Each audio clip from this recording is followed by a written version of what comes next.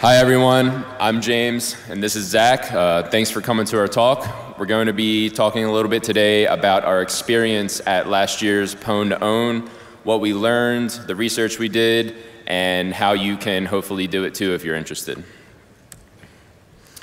So I'm James Horseman. Um, I work currently at Horizon 3 AI. I'm an attack engineer where I research O-days, N-days, build implants, uh, tons of fun stuff. Before that, I was in the government contracting sector for about seven years, doing a lot of the cool same stuff.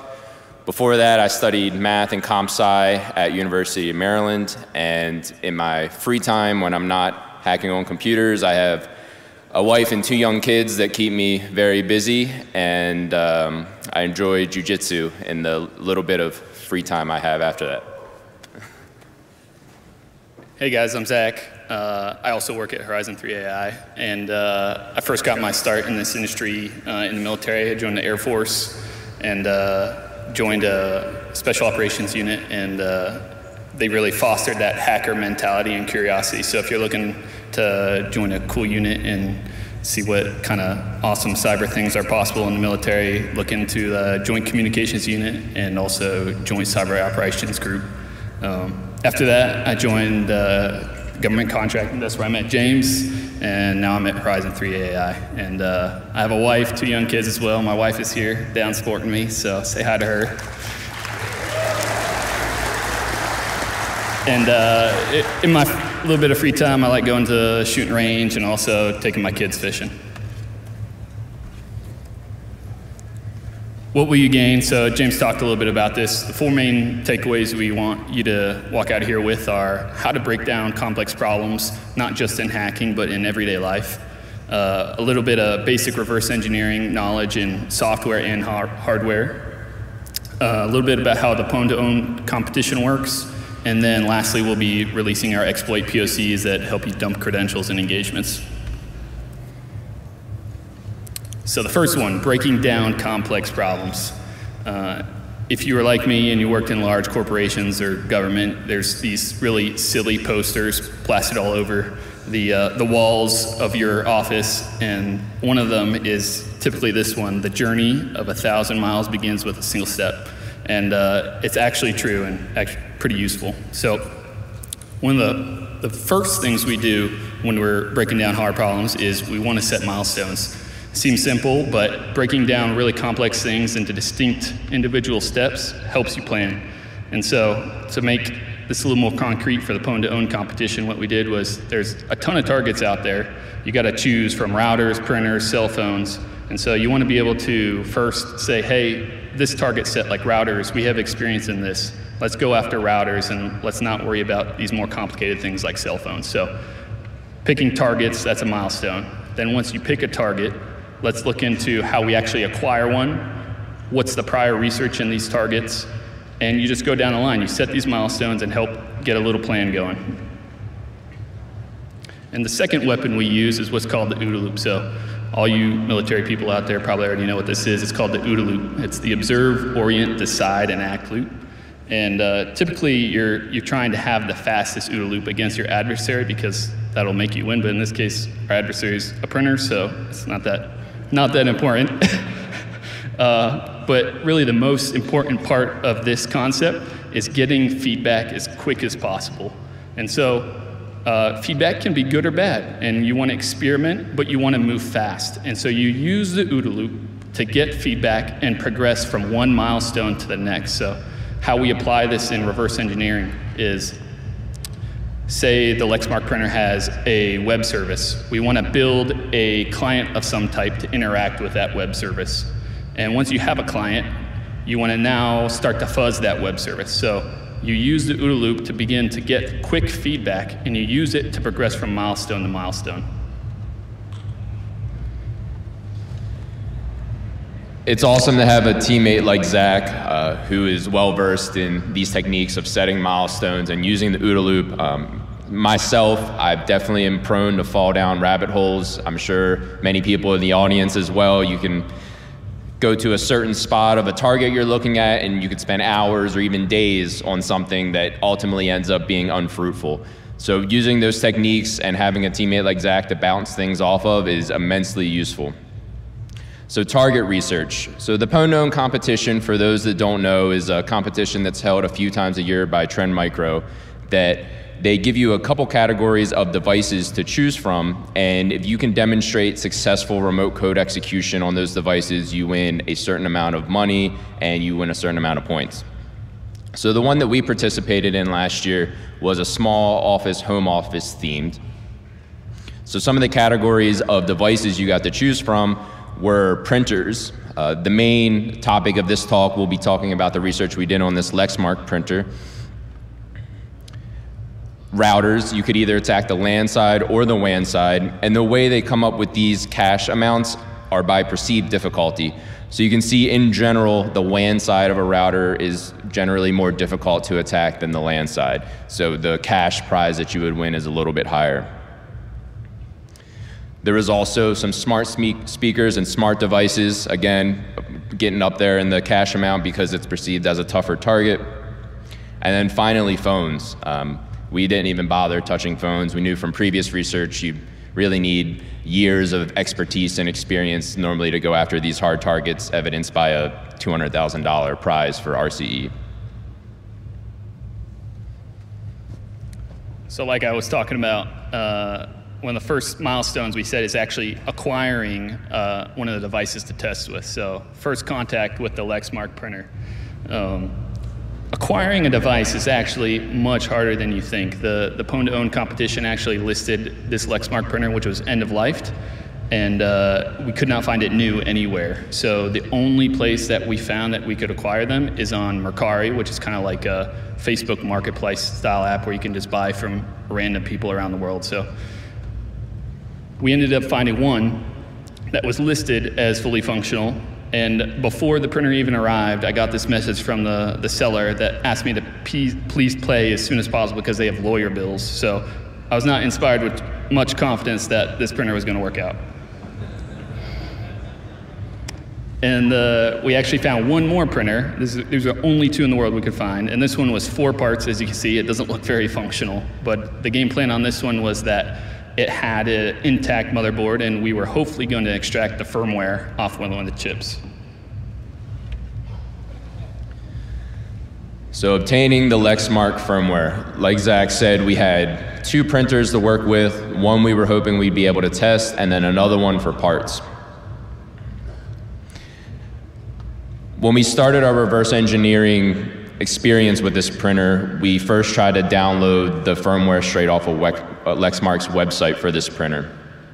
They come in these FLS files, and you can see it's listed here as a HP printer job language data. Um, that's a pretty standard printer protocol, so it's a little bit encouraging. You know, maybe we should just get the firmware for free. But if you examine a little bit further uh, into that file, you'll find it's a PJL command at the top there, and then an encrypted blob. And that encrypted blob contains the rest of the firmware that we're interested in.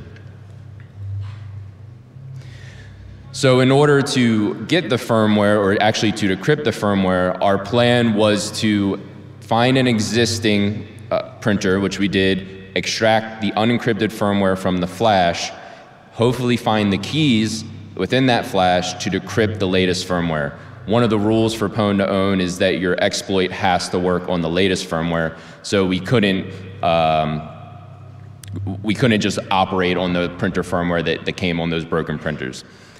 So this is our first experience with hardware hacking for either of us. We both have a lot of experience in software reverse engineering and software vulnerability research, but almost none in hardware hacking or hardware research.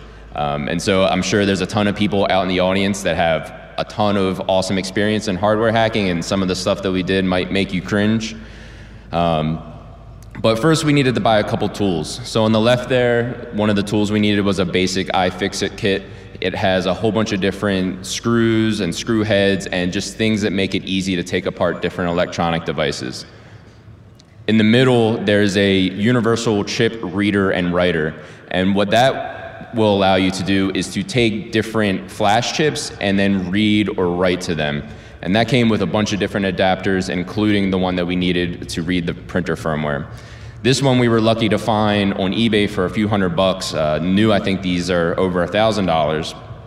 And when it came to us, it was covered in like grease and grime and everything. And I was kind of worried it might not work. I think it came from maybe a mechanic shop. Uh, I think you can use these to read and write ECUs on cars. And then on the right side there, we have a heat gun uh, that we plan to use to desolder the chip from the motherboard. So I took the broken four parts printer and I wasn't very gentle. I just ripped the plastic off because I knew I didn't have any hope of putting it back together again and eventually got the motherboard out. And in the lower left-hand corner there, you can see the actual flash chip that we're interested in extracting and reading from.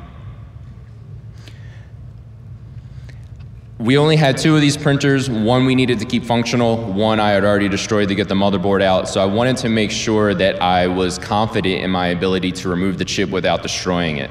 So I looked up the, the chip format and I tried to find some similar things that were maybe a little bit cheaper or easier to find to practice on. And the first thing I found was basic USB sticks use this, this chip flash format. Um, I believe it's called the TSOP 48. It has 48 pins. So I went around my house, gathered up a whole bunch of old USB sticks and, and some old routers, and I was practicing, and I was able, after a while, to get them off pretty easily at pretty low heat. Unfortunately, after I was pretty confident, I was like, oh, I got this. I went to go do it on the printer and it did not come off. It did not work. I ended up cranking up the heat quite a bit and you can see I burnt off some of the engravings on the flash chip and getting kind of nervous. So I called Zach on Zoom and I'm like, the, the, the chip isn't coming off. I'm not sure what to do. And we talked for a little bit and ultimately I said, I'm gonna go give it one more shot. Crank the heat way up and then this time what I did was actually heat up the entire motherboard first along with that ethernet jack there that you see on the left. Um, and in hindsight, that's obvious. You can look up stuff on YouTube that says if you're trying to desolder stuff, you know, heat up the surrounding area. Um, but at the time, that was not obvious to me. Um, so ultimately we ultimately were able to get the chip off the board, but I wasn't convinced that it was functional. I thought I probably fried it. So we put the chip into the chip reader, and it had, like I said, it had all these adapters, and I had the right adapter. I inserted it in the chip reader, but I didn't have any drivers. The chip reader came from eBay, and it just came in box, and with no CDs or drivers or anything like that. So I had to go online and try to download these drivers. And of course, all the websites that I found them from, they were listed by Chrome as serving up malware. And I couldn't find anything of like official uh, for this chip reader. So I downloaded some of the ones that were marked as malware and said, I'll give them a try. uh, I, I, threw them in a VM, and then this is a picture I sent to Zach. I said, this seems a little bit sketchy, uh, but hopefully it'll work. It was all broken English, very like old Windows Win32 style GUIs. Um, and it was able to, to, to, detect the chip reader, and I, I started trying to read from the chip. It, again, wasn't working, so I was worried. I was like, either I burnt the chip, uh, the chip reader's bad, I'm running it in a VM because I don't want to run this thing that's marked as malware on my host all sorts of stuff could have been wrong. Um, I was a little bit encouraged because as I was trying to read from the chip, it would give me error codes and say like, uh, you know, these these pins, like pin 32 through 38, are not detected. So I'm like, maybe it's just loose in there. And I tried for probably about 45 minutes to get the chip to read and couldn't get it. Um, so I gave it a break for a while, went back to talk with Zach. Again, went back and I had to hold my finger on the chip at just the right angle and, and hit read a few times and ultimately got a good flash read. So now we have the flash dump and we need to take that flash dump and ultimately get the user mode file system uh, for this printer. If we didn't mention it earlier, this is a Linux-based printer. Um, so it has a normal Linux kernel, Linux user mode file system.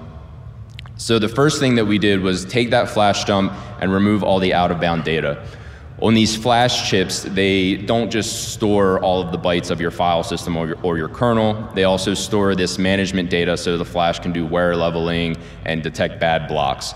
So our first script removed all that out of bound data, and we saw that it was a, a UBI file format after that. Uh, UBI is another kind of block management technology that allows the computer to interact with this flash chip and just read and write files to it without having to worry about all the sectors and the wear leveling and things like that. We then found this cool tool on GitHub uh, called UBI Reader. We were able to use that to extract the volumes from this UBI image. And then finally, one of those images was the, the root file system for this Linux-based printer, and it was just the basic SquashFS file system. So the normal Linux tool unsquashfs gave us the, the user mode file system. So once we had that file system, we did some reverse engineering. We're, we were able to find the program that was responsible for handling the firmware update. And after a, a, good amount of reverse engineering, we found the RSA keys that this firmware update binary used to decrypt the firmware. Uh, and th this is just a picture of in Ghidra of those RSA keys. So from here, we were able to decrypt the latest firmware and, and, and move on from there. Uh, we'll be releasing a blog after this that has a little bit more details on the vulnerability, or I'm sorry, on this reverse engineering portion uh, after this talk. So now we have the firmware, and we can actually begin the, the, vulnerability research to actually compete in this competition. So in vulnerability research, there's really two uh, types of analysis. There's dynamic and static analysis. So I'll talk briefly about the, the general approach you would want to take, or that at least I take.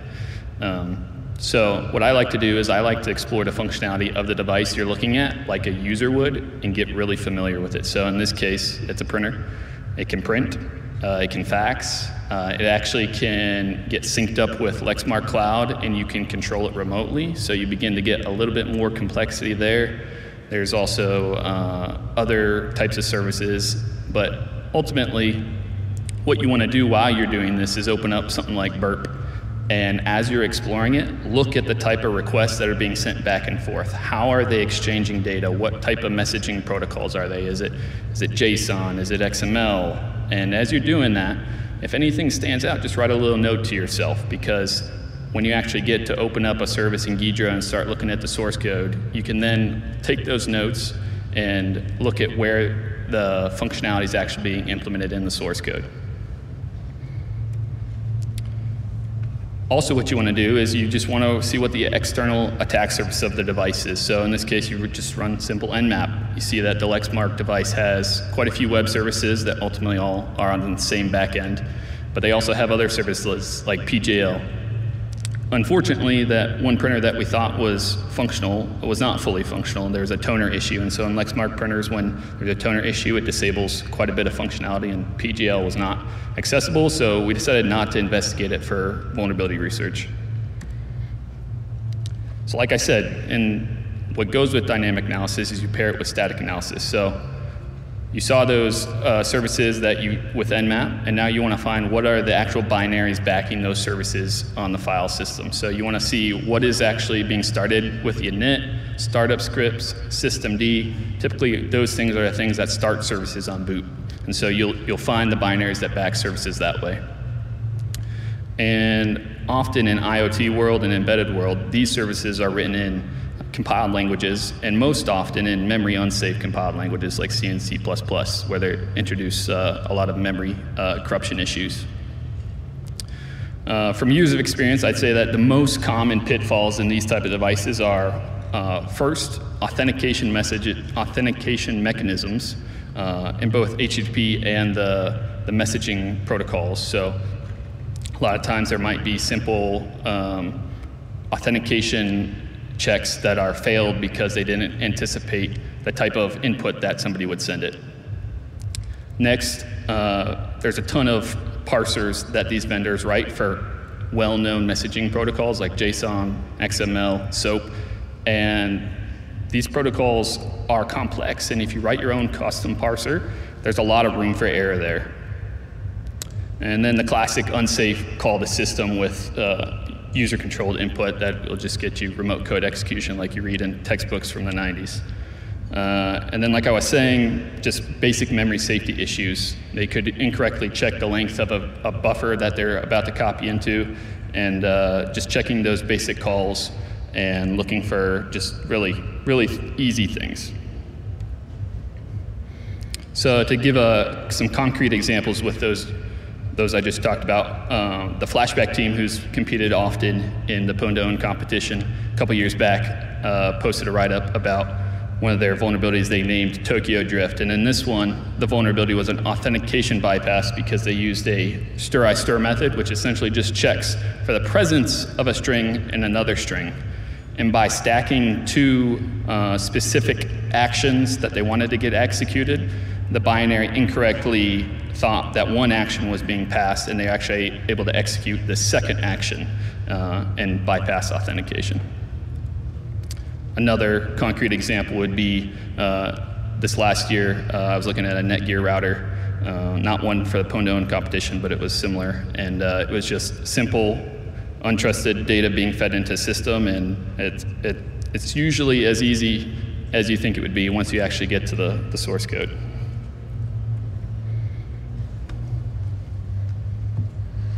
So Zach just gave a good overview of a general approach for vulnerability research using static and dynamic analysis together. When it comes to the Lexmark printer that we were targeting for this competition, static analysis, we wanted to look at the web server first. Uh, like Zach said, some of those other services were disabled in our kind of broken printer, and we we're looking through Burp and we saw a bunch of different types of requests you can make through the web, regular web UI when you connect to the printer. So when we started reverse engineering it, we saw it was a, a, basic Apache web server with a whole bunch of different endpoints that you could hit. And one of those endpoints included a CGI directory. Uh, and that CGI directory was full of bash scripts. So they had a large portion of their web server functionality written in bash of all languages. And uh, we just grepped through that CGI bin directory for eval. And if you're not familiar with bash, it's very difficult to handle untrusted user input uh, with the eval command. You're basically giving them a shell. Um, anything you pass in the eval will be evaluated like you typed it into the terminal. And the command variable there did contain untrusted user input. Um, and so this fax change, fax trace setting, is the endpoint that we decided to go after. A little bit of a, a side note for this. This endpoint can either be authenticated or unauthenticated, meaning that the user might have to enter some credentials to access the endpoint, or it might not. And what controls that is when you set the printer up. If you factory reset the printer, you just took it right out of the box and boot it up, this is the screen that you're greeted with. And it's going to ask you whether or not you want to set up an admin account now or later. If you choose setup later, that endpoint is unauthenticated. If you choose setup now, that endpoint is authenticated. So we were a little bit concerned because for Pwn to own, you need to have unauthenticated RCE, and we were going back and forth of like maybe we need to find authentication bypass or something like that. But ultimately, what we found is that within our own customer base and on Shodan, every printer that we found in the on the internet did not have this endpoint authenticated. So everybody chose setup later uh, when they ask you if you want to set up an admin account. And it's a little bit worse, even worse than that, because if you choose setup later and then actually go through the web UI and actually set up an admin user later, um, that endpoint's still on, on, still unauthenticated. Uh, it's, there's a very specific little box you have to press to re-authenticate that endpoint. So, so we moved on, we're like, cool, this is unauthenticated command injection, let's keep going. If you open up that web page on a web browser, this is what you're greeted with. Uh, it lets you change some settings about the fax tracing. They have a tracing library that you can use to debug your printer, I guess. I'm not sure exactly what it is used for, but you can toggle all of these switches to either on, uh, I'm sorry, off, low, medium, or high. And if you run that request through Burp, this is what it looks like. And at the very bottom there, you can see that they just take all of those variable names and then set them to an integer value of 0, 1, 2, 3. And so what we're able to do is just replace one of those integer values with this basic command injection. Uh, so we, we told it to create a file in uh, var temp hello, and when later on when we actually got our shell, uh, you can see that that file is created. So it's about as simple as it gets in terms of a, a vulnerability. One thing I wanted to point out here is uh, Zach and I were doing this research kind of part-time as part of our normal day job, and I would say about 70 to 80% of the time was spent figuring out how to get the printer, how to how to get the flash off the printer, how to decrypt the firmware. That was a large portion of the time. And it was only maybe 20% of the time once we actually had the firmware that it took us to find this vulnerability. Um, so I just think it's interesting that if you have the opportunity to maybe go after a target where it's a little bit harder to actually get to the code or get to the binaries, you could find potentially easier bugs. This, this command injection in Bash was on their latest firmware and just recently patched. A few lessons learned from the competition is that your eyes are bigger than your stomach. Like I said, Zach and I were doing this part-time as part of our normal job. Uh, and we bought a couple other targets. We looked at one of the TP-Link routers and the PR4100 NAS device, and we just didn't have time to, to dig into them. Also, don't give up on older targets. This Lexmark printer was in this competition for years, and there's a similar one in it this year uh, that uses the same type of firmware. And so just because you know, people way smarter than myself and, and Zach have looked at these targets for years, doesn't mean that a, a, firmware update won't introduce a new vulnerability or there's just an old vulnerability that's been in there that nobody has caught. And then finally, uh, go back to basics. When I first started learning vulnerability research, I learned about the basic stack and heap overflows. And so when I would go to look for vulnerabilities, those are the kinds of things I would look for. But after I gained a little bit more experience, I kind of found out for myself that those are actually normally the harder vulnerabilities to find and if you, even if you do find them, they're normally much harder to weaponize. So when I'm doing research now, I like to start with the easy bugs first. I'll look for basic command injections, basic authentication bypass, SSRFs, and then only after I've exhausted all of those options, then I'll move to the, the memory corruptions, the stack overflows, heap overflows. Um, So now I'm going to talk a little bit about state of security in 2023. Uh, after the competition at Pwn2Own, they released stats about the different bug classes and the percentage of them. And uh, authentication bypass and command injection, these real simple ones, are overwhelmingly the largest percentage of bugs found, which is kind of concerning. Like all these devices that we use in our homes, and it isn't just, it's not just in our homes. Like we've been doing this for enterprise applications and appliances as well, and it's the same story. So, two talks that I really liked from this last year uh, that I recommend you go watch are Deep Attack Surfaces and Shallow Bugs by Chompy. Uh, in this talk, she, she talks about how she wanted to look for a, a bug in a authentication library uh, within Windows that hadn't had any vulnerabilities found for a while, and it was used across a lot of different authentication mechanisms. So she popped it open, and within the first 10 minutes, she finds a bug just, just briefly looking at it. And then the second one is Information Security is an Ecology of Horrors by David Tell. And uh, my favorite quote from the talk is he said that his friends asked him, Dave, why is it so hard to find bugs? And he responded, stop looking for hard bugs. And I think it's, uh, it's laughable and it applies to all of this because like, like you saw, or like I'm telling you, at the Pwn2Own competition, all these appliances, enterprise apps, um, is the simple bugs that are still out there, and it just takes a set of eyes to look over them and they fall out. So definitely give these a watch. I think another thing that comes into play here is businesses view security as a cost center. Recently, uh, CISA announced, or not rather announced, but they commented that they were thinking about making companies liable for software insecurity. And in that same talk by David Tell, he said, adding software liabilities to the equation doesn't mean these companies hire more programmers and QA people or threat modelers or whatever. They just hire more lawyers and insurance.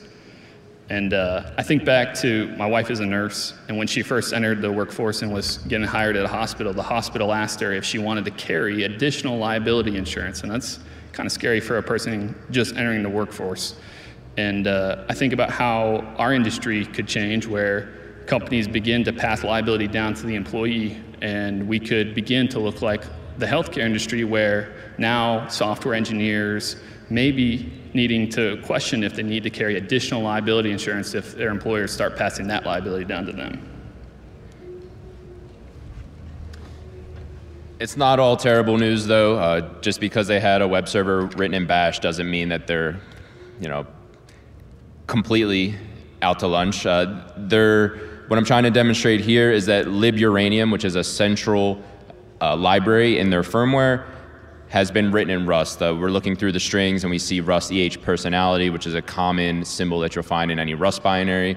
And so they are definitely trying to make strides in the right direction by moving to more memory safe languages that make it harder for the developers to make mistakes. Like I don't I'd be I'd love to see somebody write a bash eval statement that is totally safe that takes user input. I think that'd be very difficult to do. Languages like Rust, Go, some of the more modern stuff make things like that a lot harder to shoot yourself in the foot.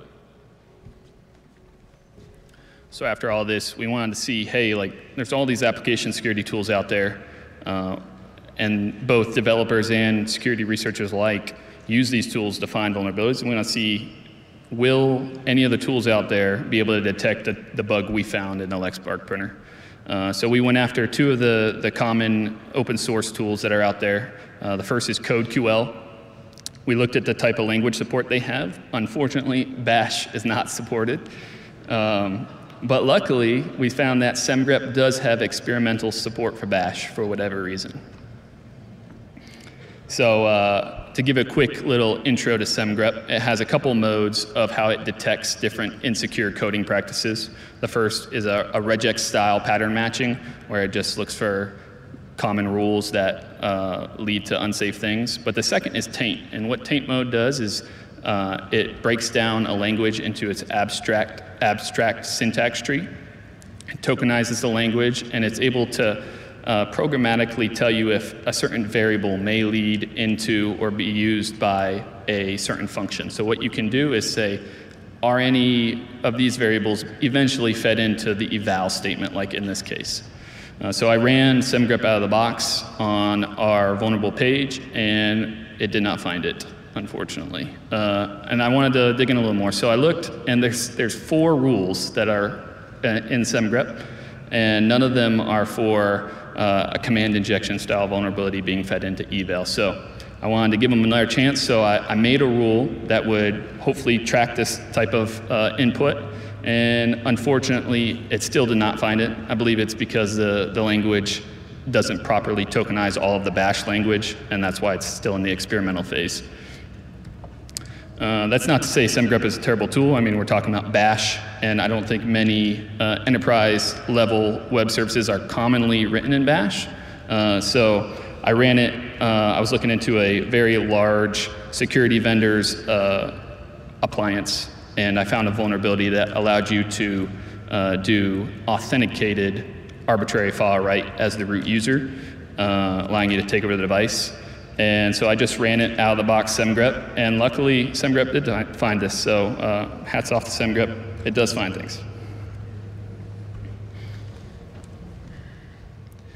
So finally, we want to share a few of our proofs of concepts for this Lexmark uh, printer vulnerability. The first one here is just a simple Python script that abuses the command injection to give you a shell in the context of the HTTPD user. Uh, we first send a couple wake up commands to make sure the printer is awake. We found that if you would let the printer sit for a while, sometimes it wouldn't respond appropriately.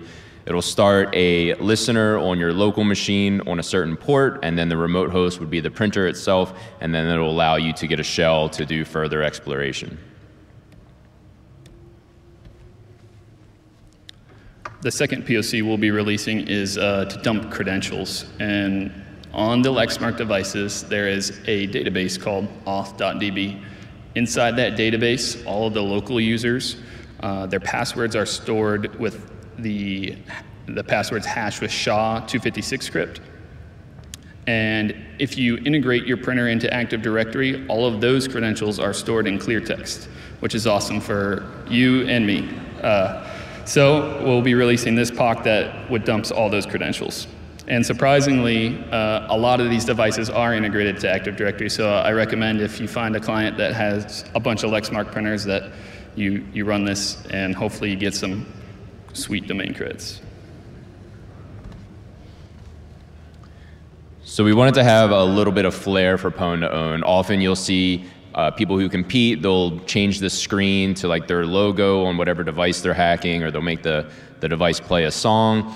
Um, and so we decided we wanted the printer to play Super Mario Brothers. There's a command on the printer called Rob that does a whole bunch of different stuff, but one of the things you can make it do is, is beep.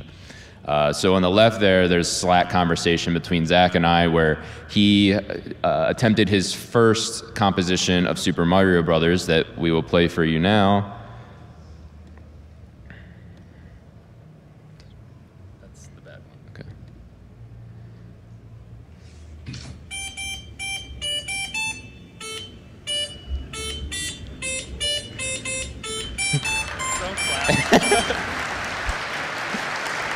Supposed to clap. That was bad. So that one was, uh, that had a couple wrong notes in it, uh, if anybody heard. And the joke down there is I, I told Zach, I said, there's a lot of wrong notes in there, lol. He said, what are you, some a musical aficionado? Uh, so we got together and we figured out that whatever thing he was reading, you had to convert the notes to a frequency. Uh, you can see here, it's a little bit complicated, so that's, uh, you know, Zach did his best on that first try. And finally, we were able to get a good version of Super Mario Brothers.